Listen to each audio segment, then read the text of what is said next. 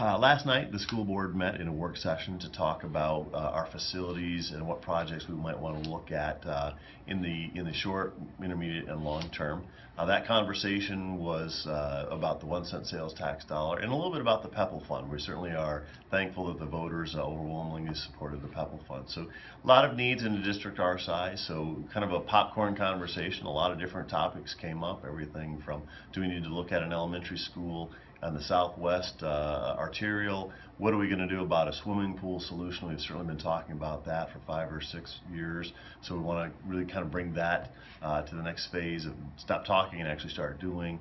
Uh, we talked about next phases of renovation to, at senior high. We talked about uh, Rose, Jefferson and Washington middle schools. So a lot of just good conversation. Now, in the coming months, we'll take those conversations and those priorities and we'll try to flesh them out talk about priorities, talk about the dollars needed to do those different projects, and then um, make some recommendations and some decisions uh, as a school district, as a school board, about what, what do we do next.